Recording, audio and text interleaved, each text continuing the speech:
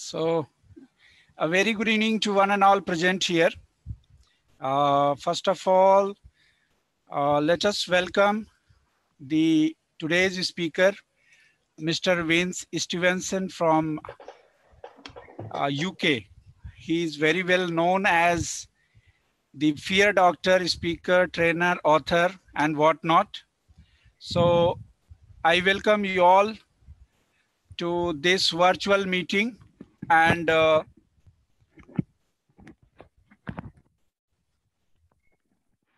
so it's indeed pleasure to welcome Mr. Vince Stevenson, the speaker of today's virtual meeting. Before we start the meeting, I welcome all the participants also to join this virtual meeting and take part in this uh, fear of public speaking where the Mr. Stevenson will be talking more about what the things to be taken care, especially when we deal with the public speaking. I would like to introduce about Mr. Vince.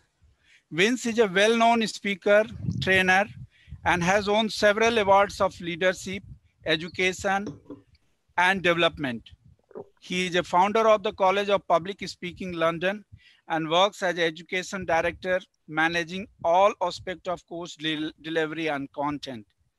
Vince is also one of the UK's leading speech coaches. He has worked with leaders across the spectrum of politics, industry, finance, as well as featuring primarily in humanita humanitarian role. Vince is an avid learner and in recent years has accomplished many certificates in learning and communication science with University of California, San Diego, the University of Amsterdam and instructional design with the Institute of Adult Learning Singapore. Vince is also a qualified teacher, trainer, and over the last 15 years, his enthusiastic membership of, membership of several voluntary organizations has helped to raise the awareness and standards of effective communication. He is the trusted advisor behind the college's outstanding pro bono service to the third sector. If I keep on reading his contribution to the whole world, it will not be enough even a day to speak about Mr. Vince. I have been fortunate enough to meet Mr. Vince during my fellowship at University of East London, where he educated me and uh, many more participants about public speaking. And I consider him as my him, him as my teacher, my guru. So welcome you to this uh, virtual meeting, sir. We all welcome you and we all are eagerly waiting to listen to you, sir. Today with us, we have another uh, um, means uh, friend, Dr. Siram Pandey. He is also with us. He has joined the program and other participants are also watching this program. So may I request Mr. Vince to please address the virtual gathering. Over to you, sir. Okay, DP, thank you so much. That was um, that was an amazing introduction. Thank you so much. I couldn't have written that better myself. Uh, it's rather embarrassing hearing about uh, yourself and all of the, the things that you've done over the years, but uh, I'm probably three times as old as most of the people on the call. So I guess I've done a lot with, uh, with my time, my professional life. So it's great to be here. Uh, this is the first time I've ever done a live webinar, speaking to so many people in India, and uh, I'm rather excited. So let's get straight into talking about the fear of public speaking because it's a huge issue. It's something that all young men and young women go through uh, in their ascendancy in their careers. It's a really wonderful skill to get on top on, of and, and to enjoy. I think the most important thing is that you enjoy your speaking, that you enjoy your communication. And I think the great thing about being a teacher is that you share your knowledge and your passion uh, with other people. So a lot of people feel, uh, who, who am I? why should people listen to me? And uh, who, who on earth am I? And, and, and we have a quite a negative self perception, uh, which really doesn't help because I think the, the great thing about human beings is that we all have a story. We're all, we all come from a family, we come from somewhere, things have happened to us. Uh, who've who've got us to where we are, whatever whatever situation you find yourself in. And as human beings, one of the, I think one of the great things, and I'm sure DP will agree with me, that for example, when he did his fellowship work, he was working very closely with lots of people from around the world, from different backgrounds, different uh, technological disciplines. And what happens is when people come together to share that knowledge and that experience, something wonderful occurs. And then you can take back that knowledge, you can take back all the things that you've learned from other people, and then you can share it with your colleagues. And uh, that's the wonderful thing about, uh, I think it's one of the wonderful things about those fellowships, uh, for example. But it's also a great thing that today, uh, under the circumstances of uh, you know COVID-19, uh, we're, we're all on this call together and that we can talk together and we, we can share something hopefully you, that you're going to find incredibly value, valuable and you can utilize from straight afterwards. So because we've only got an hour or so, um, I, there's no way I can talk about all the things that I think are really, really beneficial. So I'm going to I'm going to go to what I believe to be the main thing. So DP, if you could put the speech considerations, you could share that word file, please. Okay. Sure. sure. Okay. So I think what uh, generally freaks most people out about public speaking is the thought that they are not going to be prepared and that maybe they don't really know how or what to practice and what to prepare. So what I propose to do in part of today's session is to go through these, what I describe as speech considerations. And uh, we're going to be sharing these documents, so we'll share this document with you after the speech. So if you want to make notes, that's great, but you, will uh, DP will make this available for download afterwards, and you, you can have this document. So the first one that it says, number one, uh, the date of the speech. So let's say here's the scenario you've got to make a speech in three weeks time okay so three weeks time let's say let's say you, the 15th of june for example let's say you've got to make a speech on the 15th of june and you've been told that this is going to be a 15 minute speech so that's number two there so the duration of the speech so the date of the speech the duration of the speech this this is already useful. What is the title of the speech going to be? So, what's the general theme of your speech? And where is the event where you're going to present your speech? Okay, so where is that going to happen? So, think about the think about the classroom. It may be in a classroom. It may be in a conference center. You might be speaking in a hotel. It might be some event somewhere. It's really important that you can visualize where it is that you're going to be so because that helps you with your preparation when you when you've got your mind around these things it's really really good to know then then you you don't find uh, when you get there that you've uh, forgot to do some very important preparation so the next thing you need to think of uh, these days is you know if you are speaking at a hotel or a conference venue uh, is there going to be a microphone there generally there will be at a hotel or a conference event Will there be a podium? Uh, will you be in one of those, uh, it looks like a, a, little box on the stage? Are you going to be standing behind one of those or will it be a lectern? Will you need to use something like PowerPoint? Again, so you might, you might need to prepare that in advance. You might need to ensure that the people who are running the event receive those PowerPoint details in advance. And of course, you'll need to know is will there be projection? So again, if you're working at a hotel or a conference center, generally that's what you'll find.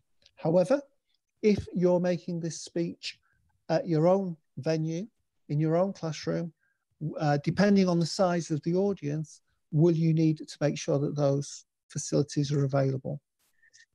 So question number two there, it says, uh, what's the context of the speech? Uh, what is the intended outcome? So this is really important, of course, because every speech, as we mentioned, we're, we're there to disseminate information. We want to share the best of our knowledge and our experience with people. So really think through that. What is the intended outcome? What would be the best outcome for you? And what would be the best outcome for your audience? What do you want them to go away to think about or maybe to act upon? So sometimes we're just sharing information that's useful. Sometimes we want people to go away and to do action. So I think uh, we're all familiar with this uh, lockdown situation. And uh, I'm sure you'll have seen lots of presentations by politicians in recent times explaining what the new rules are, what we need to do, and you know what action that we need to take when we leave that uh, that presentation, either through the news media or, or the radio or however uh, the message has been disseminated.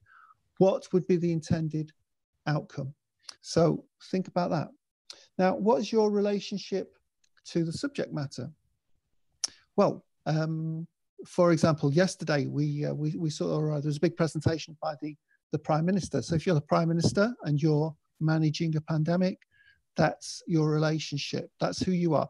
But of course, generally in these presentations, they have some doctors or people, you know, scientists with them who are going to help share the message, you know, and go into the technical technical detail of the hows and whys of how to manage uh, pandemics, for example.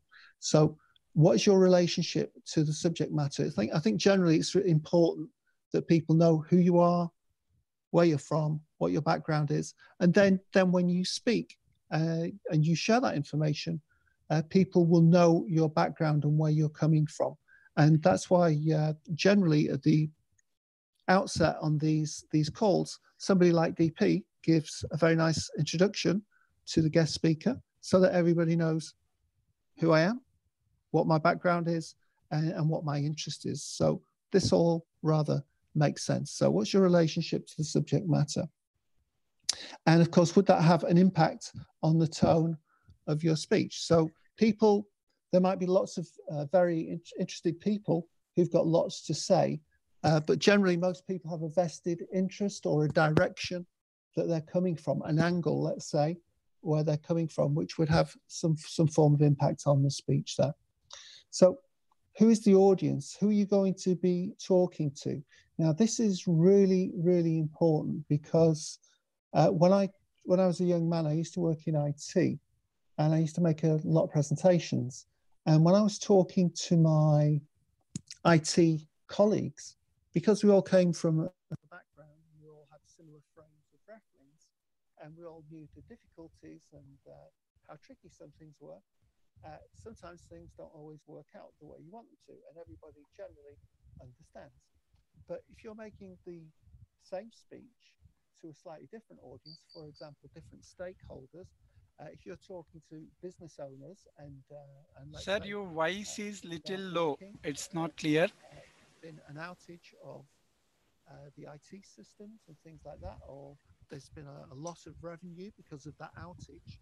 Those guys, they're not, they're really not that interested in technical problems. What they're interested in is the solutions and how can they get things back up online and uh, and getting those revenue streams. They're, they're not interested in technical problems. They just want to know when is it going to be fixed and how do we prevent that from happening again.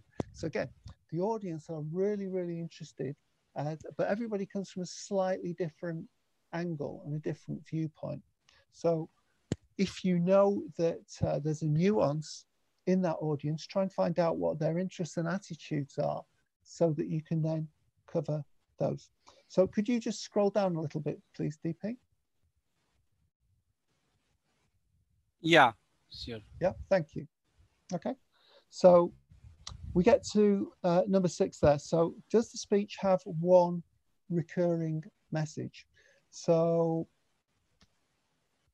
that may be the case. Political speeches generally have one recurring message. Uh, so we, we've, we, we've seen in the UK during the, uh, the lockdown here, uh, save lives, stay at home. And, and every day, and even, even on the, the lectern or the podium that people are speaking from, we see the message written so that everybody really gets the message. So we had a general election in December last year, and the government uh, had a very simple message let's get it done, let's get Brexit done. It was a Brexit election, let's get it done. Because for three and a half years, we spent uh, arguing, uh, even after the referendum result. And uh, because we had a locked parliament, we weren't making a great deal of progress. So, does it have a recurring message? Because that's good. That really helps people with the takeaway. Okay, can you scroll down again, please, DP?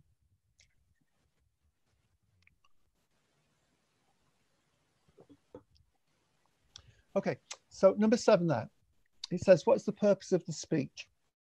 And this is really important because uh, I think that when you're preparing your speech, having this really clear in your head helps a huge amount because there's so many different things that you can do in a speech. So, for example, you can inform, you can educate, uh, you can persuade, motivate, inspire, entertain. These are all really good reasons for making speeches. Now, what, what is the purpose of your speech? Now, most speeches at work, for example, I would say, certainly in my IT career, were to uh, inform. Uh, occasionally, there would be some educational material. Sometimes there would be some training material as well. So if you can work out in advance what type of speech is it going to be? And then focus on the purpose. Uh, if you try and tick the boxes there of information, education, persuasion, and inspiration, for example, you might be jumping around um, and making it very, very difficult for the audience to follow the major things. So if you could stick with one theme, that's a really, really useful thing for you, and it's very useful for the audience. Occasionally, you might have to just touch on two or three of them. But either way, the less is more. Less is more in this case. So just really think through the purpose of your speech. What do you want people to, to do when that speech ends? So there we are. Now, is the speech values driven? And if so, what are the values? Now, as I said, there's there's lots of different reasons for making speeches. So let me give you a couple of examples. Um, now, in England, there's a big thing at weddings. Now, I am not familiar with Indian weddings. DP, you could answer this one for me. Um, at an Indian wedding, do uh, do people make speeches? Pardon? I, I didn't get you. At um, at an Indian wedding, do does the groom make a speech or the father of the bride? Yeah, I can't hear you, DP. I I, I think I means my Hello? voice is yeah. Your voice is not audible to me. Okay, just give me one moment. Okay.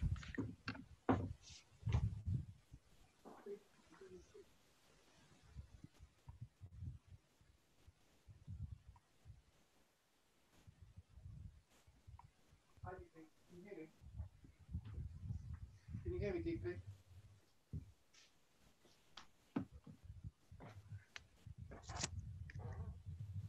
Can you hear me, DP? Ah, yeah, it's okay now. It's okay now. Okay, thank you. Right. So we were saying um, at an Indian wedding, does the bride, um, not the bride, does the groom make a speech or the parent, the father of the bride make a speech? Here in India? Yes, in India in india actually we have different culture so it depends on uh, the culture means if the hindu marriage is going on so especially the brahmin who uh, does all the uh, means uh, puja and all if it is the uh, means uh, marriage of muslim community so the okay. yeah so the people from the different culture culture have the different you can say uh, the custom. So accordingly, okay. it goes. Yeah. Hmm. Okay. And uh, yeah, again, it's it's right. It's a bit uh, slightly different in India because you you have a, arranged marriages as well. Exactly. Yeah? Yes. Okay. So um, let, let me just talk about um, England, for example, because I think it's uh, again different culture, and uh, for the, for those people who may not have been to England yet, uh, you might find things surprisingly different although similar as well. So at a, at a wedding, generally we have speeches. We have a speech from the the groom, and the groom is the man who's got married, and we have a speech from the bride's father, and what happens with the bride's father. So let's think about the values of marriage. Why why do people get married? Well, um, hopefully there's some love involved. Hopefully there's a lot of uh, this desire to form a family, to create a great family, a legacy for their family, and things like that. So uh, when we talk about um, marriage, generally we're talking about values of love, togetherness. Uh, it's wonderful. Now, I'm uh, I'm 62 now, and I still go to to weddings. My niece should have got married uh, this month. Unfortunately, that was postponed because of the virus. But uh, I can guarantee that uh, when when her marriage takes place, they'll be they'll, they'll be talking about the values of marriage, love, children, family, thinking about those you know the, the line of the family, and and the love of life and the love and warmth that marriage uh, can bring people. So this this is what we mean by values. So think about your organization for a moment. So think about the, the culture of your organization. So if you work in a university, for example, what is the culture? Well, the culture is one of, of providing um, an opportunity for people to learn so that they can be educated, so that can, they can go out into the world and share their knowledge and make a better world. That's, that's a values driven speech. So um, every year, universities they have uh, they have a big meeting where they have a new intake of uh, the undergraduates, and they talk about the values of the university and their expectations uh, for the future, their, the expectations for the new students, and what's going to happen in those three or four years whilst that student is there. So this is what we mean by values-driven speech, and of course the uh, when when people graduate, there's the graduation speeches and the ceremonies, and uh, you know the senior people from the university. They talk about the values, the values of the organization, the values of these people going out into the world, and they're going to make some huge changes and make the world better for everybody. So, is the speech? Does the speech have any values in there? So this is interesting. Now, again, it, values works at a team level, it works at a department level, it works at a, you know, a company level as well. And when we follow the values and the traditions of the company or the organization, this is where we can really create something wonderful. So, aiming high, having great values. Number nine, now. Number nine, are there any preferred stories or quotations? Now, I like quotations. Um, I haven't used any today, but I could do. I really like quotations.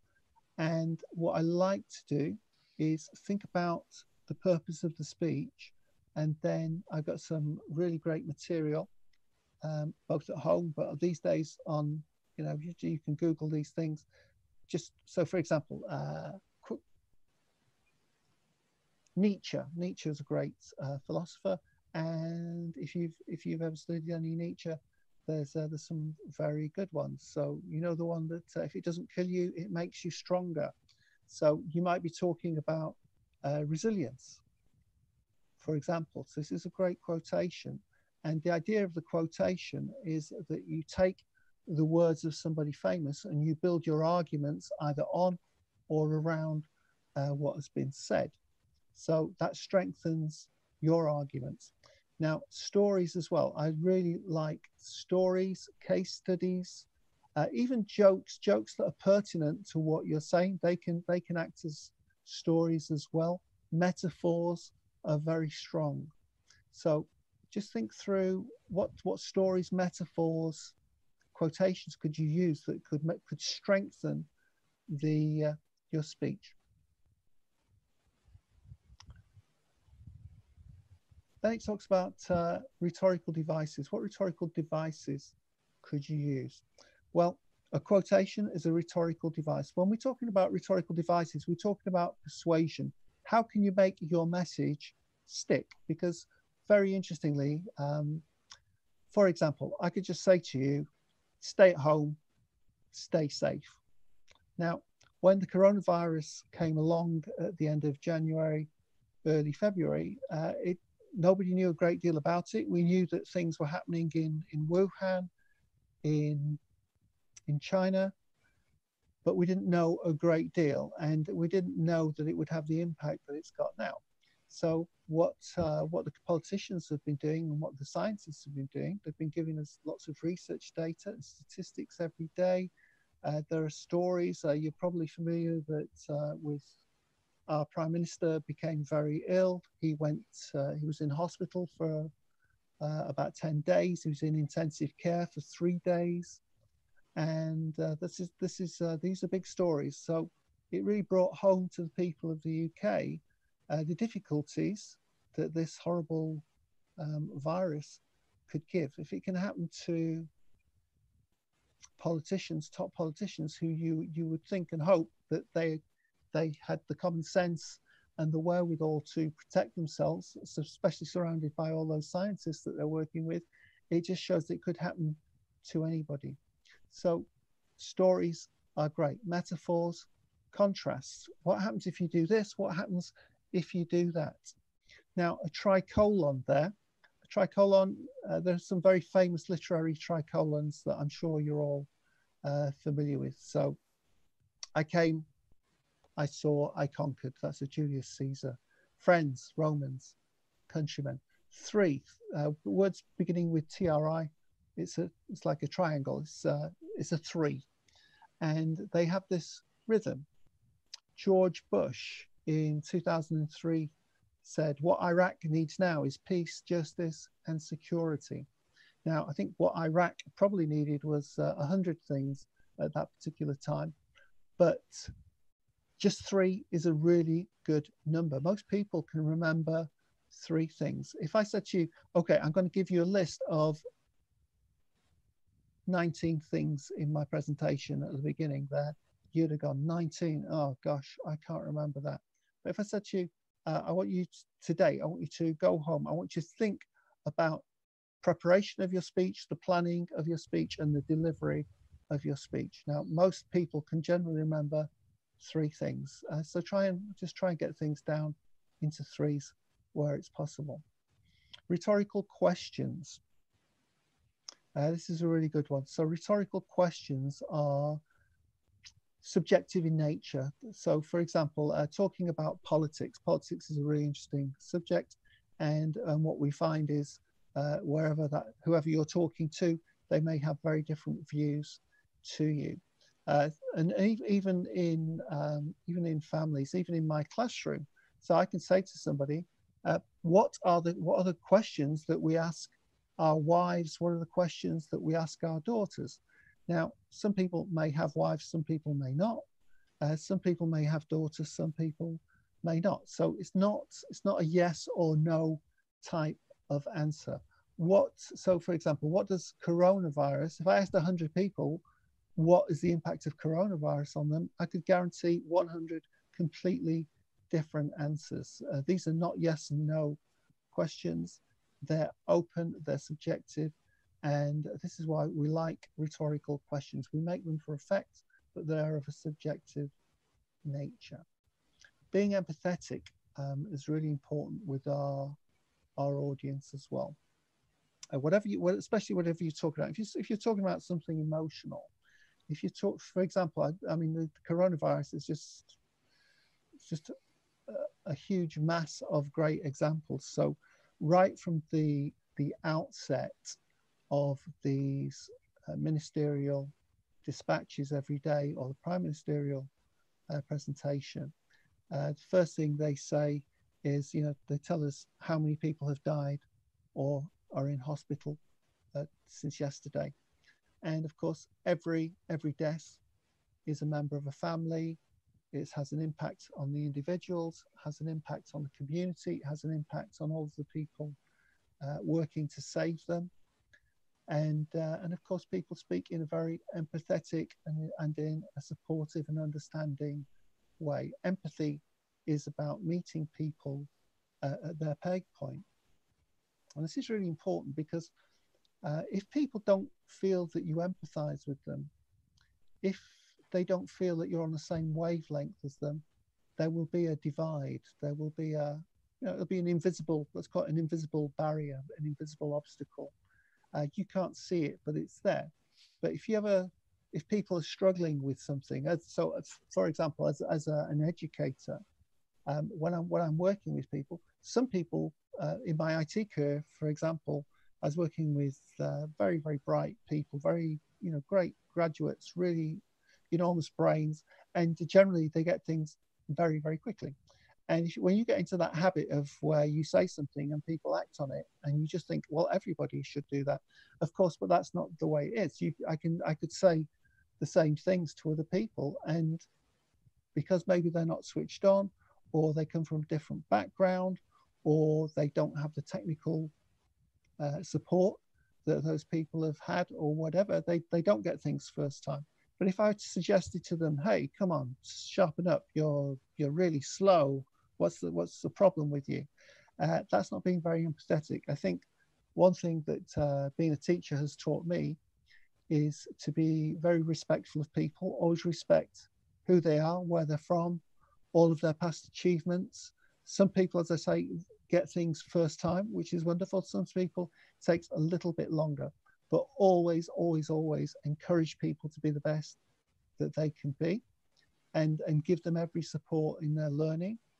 And uh, and and you know sometimes people may have uh, difficulties at home. They may have difficulties with money. They may have difficulties with transport. They may have emotional or relationship problems. You don't know because they won't they don't generally tell you but for one reason or another they're not they're not keeping up and all we can do as educators i believe is is support them to the best of our ability and uh, and give them all the encouragement uh, that we can do and this is a, the next point there, the last point on number 10, repetition. Uh, this is a, a, in the garden. Uh, we have a big communal garden at the back of our house, and uh, there's, there's lots of children who live in the house now.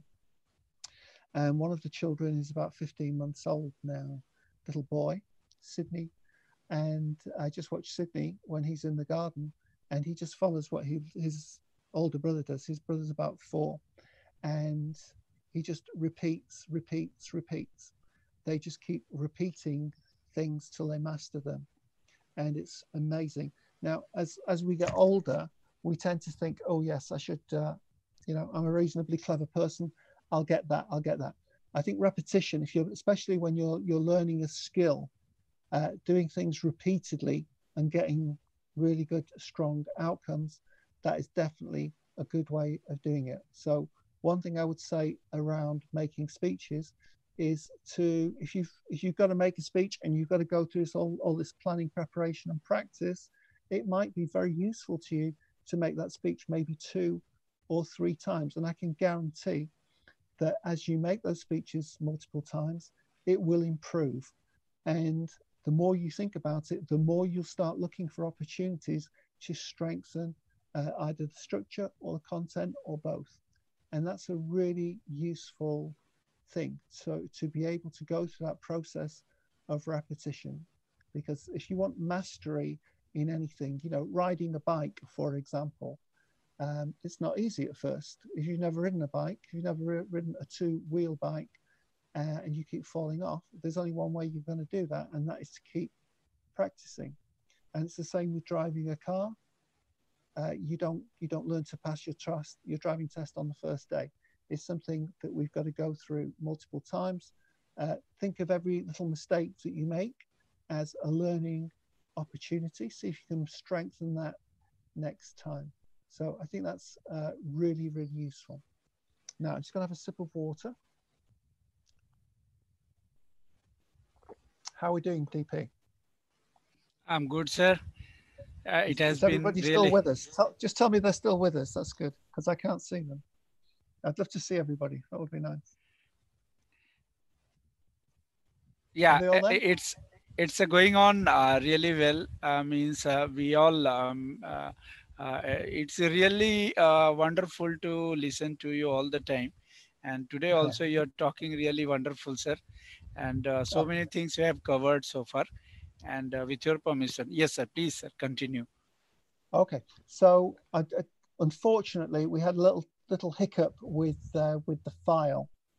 Now, so I'm going to I'm going to ask you to visualize. Uh, I mentioned three things. Three three is the magic number in public speaking. So I just like to talk to everybody about speech structure. So coming back to where we started, I, I want to imagine that on June the 15th, you've got to make a 15 minute speech and you're going to make three points. So point A, point B, and point C. Why three points? Well, most people can remember three things simultaneously. It's, it's just a fact. So three is a really good number. And if you're really, really clever, and I'm sure you guys are as well, you can actually break those three points down into three subpoints each. So effectively, you can speak about nine things, but as long as you group them together in threes, people can follow them very easily. So two of the most important elements of a speech are the introduction, the introduction and the conclusion. So why do we have an introduction? Well, people need to know what the speech is about. And if you tell them at the outset, I'm going to talk to you today about X, Y, and Z. I'm going to talk to you about planning, uh, practice, and preparation. Okay, so there are my three things. You tell people up front what you're going to talk about, everybody knows what to expect. And that's a great help. We actually call it signposting, uh, which again is a lovely metaphor. And why do we have signposts on the roads? Roads because we like to tell people where we're going, you know, because uh, you'll get to a junction and uh, you can go this way, you can go that way, you can go that way. And the signpost will give you an indication of the right place. Oh, you found it. Oh, DP, you got it. There you go. Excellent. So that's good. So by telling people what to expect and where you're going, you're helping them so that as you move through your speech, everybody can follow X, Y, and Z. Uh, something very, very important. If you tell people you're going to talk about X, Y, and Z, just make sure that you relate to X, Y, and Z in the order you specify, because if you don't, for some extraordinary reason, people go a little bit crazy. So if you're talking about X, Y, and Z and you announce them in that order, just run through them in that order. If you don't run through them in the order you specify, people come up with all sorts of strange uh, theories as to why you didn't go in the order you specified. So just help people and go in the order that you specify. And finally, we need a conclusion. So what we do in the conclusion there, we go over the major points. So just take out the huge points of X, Y, and Z just reiterate them, go through them one more time. And generally, we want to end on a high. So uh, probably at the end of uh, today's session, when we've done the Q&A, um, I'll say to you something like, okay, I hope you found this very useful today. Um, I want you to go away. I want you to think about these things. And I want you to think that you've got this speech on the 15th of June. And what are the three points that you're going to go away and make? And I want you to go away and really you know, do some research on those three points. You've only got 15 minutes. 15 minutes for a novice speaker seems like an eternity, but I can assure you 15 minutes goes very, very quickly. So just really think about uh, those things. So the conclusion, we want to end on a high. So I'm going to come back to you. I'd love to speak to you next week. If DP invites me back, I'd like to speak to you about so many different things in and around public speaking. And uh, next Sir, week, it will be pleasure to invite you and have you again on the Arch virtual meeting. Really. Oh, yeah, I'm, I'm making work. We all will be happy to have again. Yeah. I'm making a great deal of work for myself here, but uh, that's okay. If uh, that's that's what we call inviting yourself back to the party. But um, that's that's very nice of you to uh, to invite me, and uh, I'm sure I'm sure if everybody feels the same, we I'd, I'd love to uh, come back because there's just so many things I'd love to talk to you all about. So coming back to the introduction and the conclusion there, um, it's called primacy and recency. So the most important two elements of your speech are the beginning and the end. People will remember if you start well, people will remember the introduction and that will give them uh, the incentive to want to continue listening to you. And the conclusion, we want to end on a high. We want to always make people feel uplifted, that they've learned something valuable, that they've got something they can take away and to work on. And always encourage people, as we said, to be their best and always believe in them. And that so long as they're on that path towards that uh, personal improvement, always believe in them and what they can achieve. And uh, I think I think that's generally in terms of speech structure what makes a good speech. We always want to end on a high, make people feel, yeah, I can do this. I can do this if I practice more, if I work on this, if I, I'm going to get some really good, consistent results in what, whatever discipline that we're talking about. It really uh, doesn't matter. Okay, DP is 20 to 4. Uh, has anybody got any questions that they? Uh, yeah, sir. I got two questions. With your kind permission, uh, may I ask uh, one by one? Of course. Uh, yeah, first question, uh, sir, actually, uh, this is regarding the hesitation. Most of the people, they have hesitation in their mind when they speak or uh, they find the thought connectivity. And because of that, uh, they uh, find difficult to make the speech very constructive. So how do you suggest to overcome this hesitation and uh, thought connectivity when they speak in the public? Okay, I think I think I touched upon this earlier on in uh, in this presentation, and and that that comes down. It really is. The, I think the core of a good speech comes from its planning, because if you're not prepared, if you've not got all the the things that you need. Now, as I said, let, let's just use this 15th of June 15 minute speech. Now, the the tricky thing is in a 15 minute speech, it's not it's not what you put into the speech, it's the amount of material you leave out. There's so much there's so much I would love to talk to you about today if only there were time in in a, a one hour presentation. So I think what we really need to do is just think about what what are the most important and urgent things things that we could talk about in those 15 minutes. And the more you think through those those elements and again we're asking you to come up with three things three major themes. Now the more you research these themes the more will emerge and the more familiar that you will become with the material that you want to share with people. But at the end of the day you've got to really work out what are the messages that you want people to leave the building with or to the presentation with rather? What are the what are the, the, the lasting messages or impacts that you want people to go away with? And i find that the more i think think through those things and the more i talk about them the easier i find it and there's less hesitation.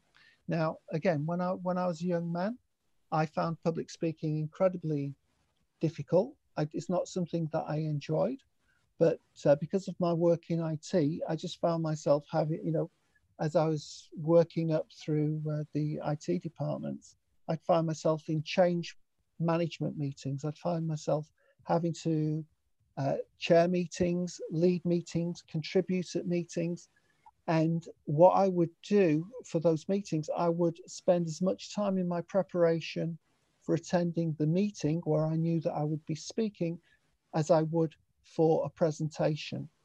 And what happens, I find, is that the more you know your material, the better you know your material, the easier it is to find it. So certainly when I was a young man, I was very, very tied to my notes. I would I would write everything and then I try and read it out and you know what it, it just didn't work but i've got uh, i've got this method now where i just study study study and generally i will write down three major points that i want people to consider straight after the speech or in an ongoing way and that that means that uh, so for example today um, i've not really been hesitating about any of the things that i'm talking about it's just that as I said, the more familiar you become with the material, the easier you find it, and there's just less hesitation. Now, one of my students, uh, well, this question has arisen a few times uh, over the years, and uh, you know, people ask me this question what's going through your mind when you're speaking? Uh, to which my answer is generally nothing. Absolutely nothing. So I know there are things going that I can hear people outside. There are things happening outside here. Um, there are things happening outside the room. There are things that are happening in the world, good things, bad things. Uh, but when I'm speaking, when I'm in class with people, and you've seen me in class, DP, I just switch everything off and I'm just totally focused in the moment, uh, which is a lovely, mindful way of enjoying your work and enjoying this opportunity, this connection that you have with people, this desire to want to share the you know the best of of what you have to give them, and I can do it these days without hesitation. But what I would say, it's a bit like riding the bicycle. Uh, if you can ride your bicycle now without hesitation, there's a reason for that, and that's because you practice it. But you only only ever ever practice what works. If you practice things that don't work, you just get better at getting worse. So that that would be my answer. Just keep working hard at your material. Really prioritize it. If you've got 15 minutes, what three what three key messages could you give? And you'll be able to consolidate that message that much easier. So that that would be my answer to the hesitation question. Really getting to know your material inside out Thank you very much, sir, for your elaborative answer on the uh, question number one. I got one uh, another question from Mr. Prakash actually he is focusing and he wants to know that the difference between uh, in your opinion the presentation and speech a presentation and a speech okay uh, very interestingly uh, i don't like make i don't like making speeches that sounds terrible from a, somebody who teaches speech writing um, i don't like making speeches uh, i am a classroom trainer i love being in class, generally with 10 to 12 people, maybe a bit less, maybe a bit more sometimes, but just being in class. Nearly everything I do is in the form of a presentation. That generally means, you know, I'm, I'm very comfortable with, uh, with whiteboards and flip charts, uh, probably because we didn't have whiteboards and flip charts. Well, we had flip charts and whiteboards, but we didn't have PowerPoint 40 years ago and uh, and all of this nice technical stuff that we've got now. So I'm a let's call me an old-fashioned classroom trainer. So if, if we had chalk and blackboards, I'd probably still use that as well. So just me, the student, and the subject matter. That for me is heaven. Uh, generally, with speeches, you need to be very, very focused on on time, and generally, as I've said, try and keep it to three major subjects. And generally, because of time constraints, there isn't a great deal of time for, for too much repetition. So I think that's one of the constraints about making speeches. One of the lovely things about making presentations and having uh, you know your classroom and your students there in front of you, they can ask you questions. You can go over various nuances that may or may not have arisen in class and and that's a lovely thing. I think presentations are much more interactive, just like this one is developing now with the Q and A session. Generally, in speeches, uh, there's not that uh, there's not always that opportunity for Q and A's, depending on on the time and how things have been organised. So thank you, thank you very much, sir. It has been really nice listening to you. Uh, another question, sir, if you allow, uh, yes. can I ask? Of course. Ah, yes, sir. Sir, actually, how do you suggest uh, to improve the fluency or uh, means uh, in your opinion? Most of the people, they struggle when they speak in public and they find difficult to connect the thoughts from one sentence to another sentence. So how do you suggest to improve the fluency? Okay, I think, well, coming back to what I was saying earlier, there's only one way you, can improve anything, and that is by understanding the process and improving the process. Now, as I said uh, earlier, when, when I was a young man, I really did not enjoy public speaking. Uh, it made me feel very uncomfortable. It made me feel very insecure. I was talking to, you know, senior leaders uh, when I was 18, 19. And, uh, you know, when you're talking to sort of very experienced people who've been through the, you know, the corporate world, and they have all this knowledge and experience and you're 18 or 19 and you're you're trying to influence them in one way or another you probably feel like you get this what we call imposter syndrome that uh, you're trying to influence these people but you've only got this very fraction of a experience that they have. But uh, looking back that was a very good thing and i was often tongue tied generally i couldn't connect my thoughts and i found it very very difficult. But uh, I was very lucky in many ways that uh, these these guys, uh, these men and women, were incredibly patient with me. I think they saw that uh, I was working hard and I was giving it 100%. And I think when you see anybody giving it 100%, it's it's very difficult to to be harsh on them. So I think everybody knows that if you want to be good at any anything that's a skill, you know, whether you want to be a good cook or you know a surgeon for example just just just think about being a surgeon and uh, one day somebody's going to give you a very sharp knife and you're going to have to open up a human body. Now interestingly I, I work with a lot of doctors and surgeons or have worked with doctors and surgeons over the years and i ask them how do you feel when you when you have to make that incision? And they say gosh incredibly nervous because they've done all the they know the the theory they've done the theory and they've they've worked with uh, you know uh, sort of plastic models, but they've never done it on a real human being. And there's only one way to get experience, and that is to practice and to do it and to learn. And and as I say, you you're going to make mistakes. And uh, but you know when you've got a scalpel in your hand, you don't want to make too many mistakes. So really think about practicing, connecting those dots. The more you do things, the easier it becomes. Um, if you if you want to know what makes me anxious, uh, I'm going to tell you something really funny. Uh, it's generally when my wife asks me to do some DIY at home.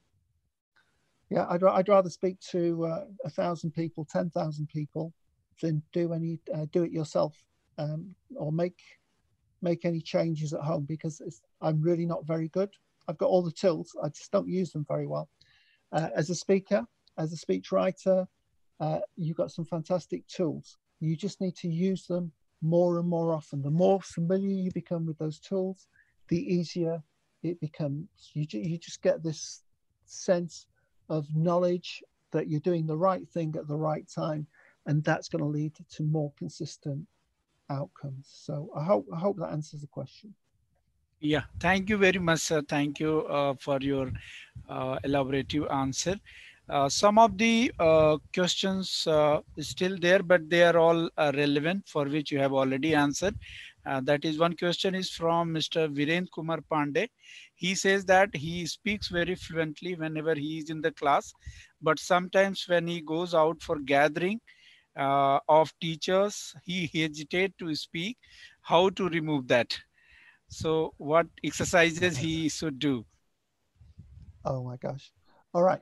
So there, there are there are lots of vocal exercises. So perhaps if we do if we do another session, and I hope we do another session maybe next week, um, we can do some vocal exercises because what vocal exercises do is uh, a bit like if, if anybody, I don't know if anybody plays the piano or the violin or the uh, the flute, uh, you just practice the scales. Yeah.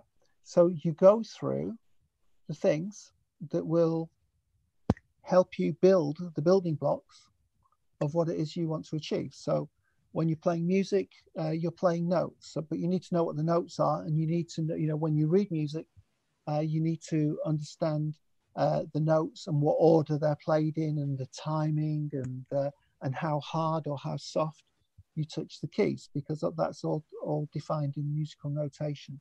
And what we've got. Uh, and again, I can uh, we can do some vocal development exercises where you can improve your fluency, and in doing so, improve your confidence. uh, coming back to the question, uh, it's again, this is really interesting. Um, I love being in the classroom. I love doing my presentations. I love uh, anything to do with public speaking and communication and self improvement. Um, but if I go to a meeting, I feel awkward speaking up. Now, when I'm when I'm in my classroom, because I know the I know the uh, the context. I know the context of why the audience are there. They're, they're there for a particular reason. Uh, when I if I go to a meeting or a networking event and somebody asks me to speak, I don't know the audience and I don't know what their expectations are. And sometimes uh, you can come across, you know, if I, if I kind of introduced myself the way you introduced me earlier, uh, which was lovely, by the way, um, some people may be offended uh, by that. So I think it's about knowing your where you're comfortable, knowing your audience, the type of people that you're working with, and their expectations. So I think I think that generally answers the question. So I don't like making speeches to people who are not my audience because a lot of them won't be interested in what I have to say.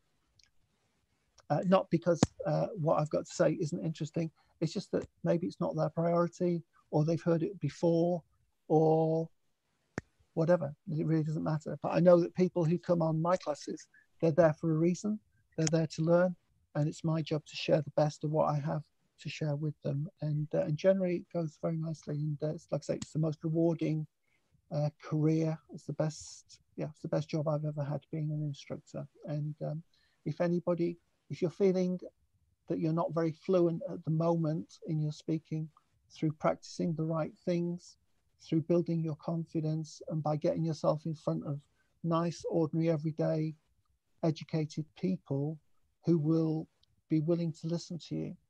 I think that's the, the most wonderful uh, thing to be able to share your knowledge and your experience uh, with people, and uh, and and that you have that opportunity to to share the best of your your material. Thank you very much, sir, for your elaborative answers. And uh, you have attended uh, many queries, many questions from the audience. Uh, sir, I think there are many questions and uh, we will take up those questions later when uh, means with your kind permission, if you agree, we will have you again in the next session. And uh, sir, it has really been nice uh, listening to you. And not today, on all the occasion, I found it very interesting. So thank you very much, sir, for your consent and joining us today and uh, giving a very elaborative lecture on how to remove the fear of public speaking. And uh, sure, sir, with your kind permission, we again uh, will invite you to uh, deliver some more, uh, I means content related to public speaking. Uh, may I now request Dr. Sriram Pandey to propose vote of thanks. Uh, oh, thank you. over to Dr. Pandey. Thank you, DP. Um, at the outset, I thank our seasoned resource person, Mr. Vince Stevenson, for his insightful, insightful talk on fear of public speaking.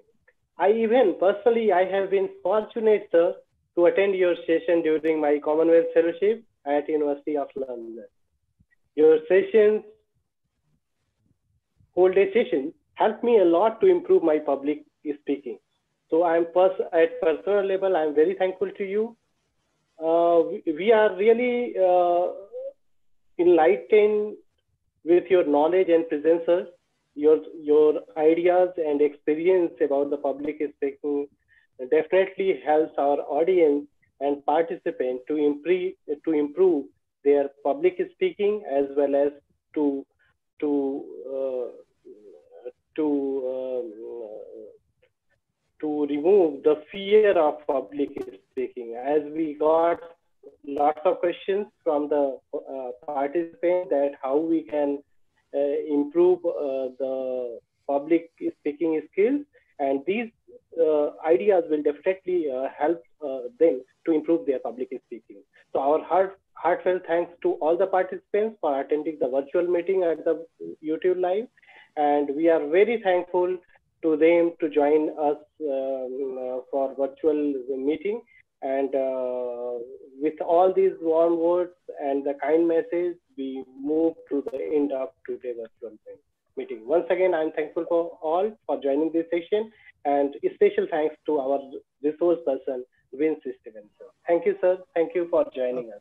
Thank you so much. That's, that's very kind of you um, for, for those, those lovely words. So I really appreciate that.